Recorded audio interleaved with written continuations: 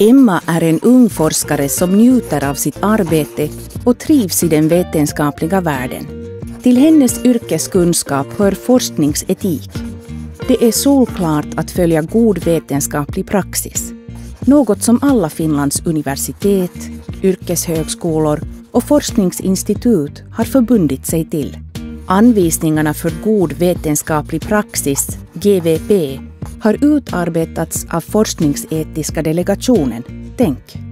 Emma vet hur man känner igen forskningsfusk för hon har satt sig in i anvisningarna på Tänks webbplats och fördjupat sitt kunnande på webbplatsen Ansvarsfull forskning.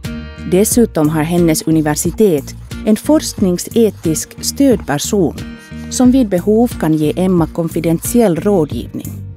I hurdana forskningsetiska problemsituationer kan Emma behöva få hjälp. Till exempel om en forskare plagierar eller parafraserar Emmas arbete och presenterar innehållet som sitt eget. Eller om Emmas namn av någon anledning inte nämns bland författarna till en publikation som forskargruppen gjort tillsammans.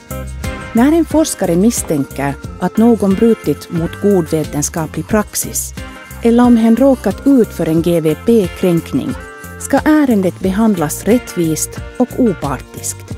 Emma gör en skriftlig anmälan om sina misstankar och riktar den till universitetets rektor, vilket sätter igång GVP-utredningsprocessen.